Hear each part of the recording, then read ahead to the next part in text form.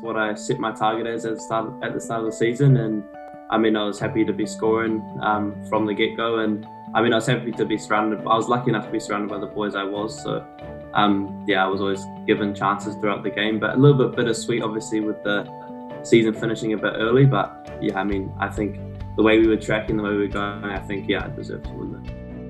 I mean, that goes back to the first of all, Jose for the coach putting belief in me and playing me most uh, all the game, uh, every single game, and then just the personnel that I was surrounded by. I mean, the other boys in the team were were quality. They were always giving me chances to score every game, and more than they gave me more chances than I scored. You know, so I could have scored more.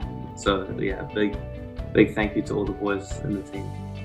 My own um, biggest critic, so there's always stuff to work on. I mean um, in terms of goals, it was a good season, and um, in terms of assists, I think I could get a bit more. But um, no, I think I did well in terms of my whole game. But um, there's always improvement to be. I think I can get faster. I think get stronger. You know, I think I can be more involved at times. So yeah, I think um, there's always work on wherever throughout my game.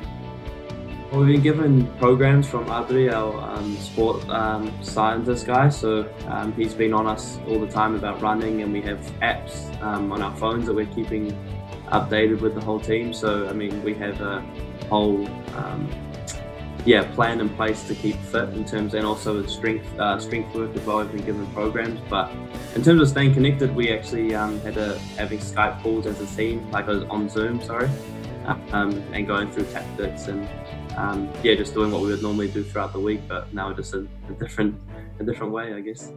At first, you know, I was, I was pretty, I was pretty gutted. You know, it's something we've been look, we've looked forward to for a long time. We've been preparing for for the last few years, and I think we were, yeah, I mean, we had a good squad and we had a plan in place that we were going to go through and then go to the Olympics. But I mean, that's changed due to circumstances. But as the under 23s, um, the other, I think it was two days ago, it got lifted to under 24s. So my it was a weight off my shoulders. I think I was a bit gutted at the start because I thought that was me and a few of the other boys' last chance, you know.